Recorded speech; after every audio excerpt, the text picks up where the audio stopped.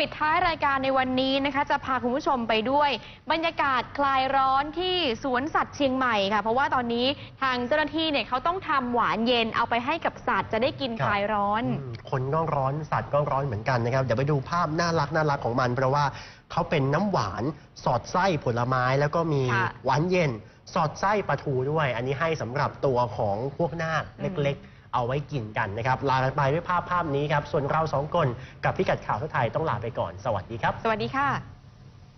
ะ